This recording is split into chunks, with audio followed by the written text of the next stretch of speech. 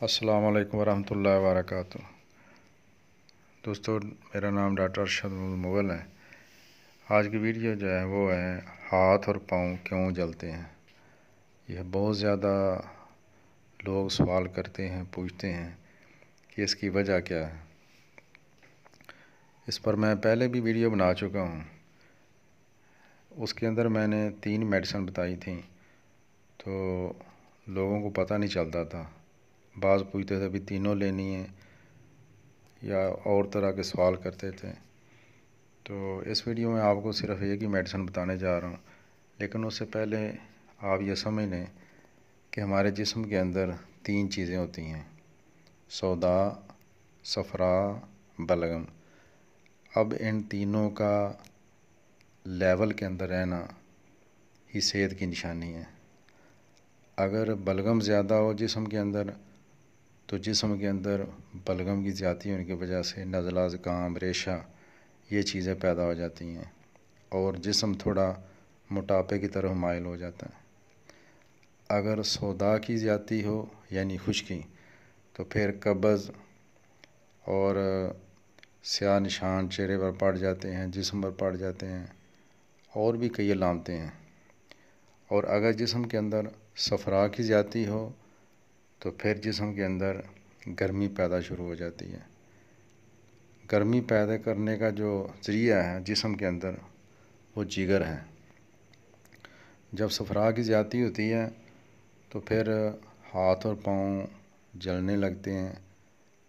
آدمی جو ہے وہ اس کو بے چینی رہتی ہے، گرمی زیادہ لگتی ہے، گرم موسم، گرم چیزیں اس کو سوڑ نہیں کرتی، ٹھنڈا موسم، ٹھنڈی چیزیں ٹھنڈے پانی سے نہانا، ٹھنڈا موسم اس کو پسند ہوتا ہے اور اس میں خوش رہتا ہے۔ تو یہ صفرا کی زیادتی کی وجہ سے ہوتا ہے۔ تو ہومیوپیتھک میں یہ چیزیں تو نہیں ہیں، صفرا، سودا، بلغم، لیکن یہ حقیقت ہیں۔ بچپن میں مزاج کچھ ہوتا ہے، بڑے جب بندہ بڑا ہو جاتا ہے، پھر تھوڑا مزاج بدل جاتا ہے چیزوں کے حوالے سے، کھانے پینے کے حوالے سے۔ تو ہومیوپیتھک میں ایک میڈیسن ہے، بہت اچھا اس کا رزلٹ ہے۔ اور میں یہ گارنٹی سے کہتا ہوں کہ یہ میڈیسن ایک ہفتہ استعمال کرنے سے بہت حد تک جو ہے وہ مسئلہ جو ہے وہ کلیئر ہو جاتا ہے۔ اس میڈیسن کو میرے مشور کے بغیر استعمال نہیں کرنا، ٹھیک ہے؟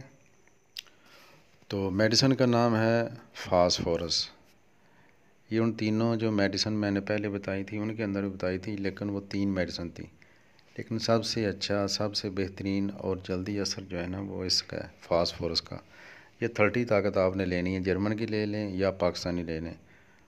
ایک ہفتہ پہلا تو آپ نے صبح دوپہر شام ایک ایک قطرہ لینا ہے، آٹھ آٹھ گھنٹے بعد۔ پھر جب فرق پڑے تو آپ نے صبح شام کرنی۔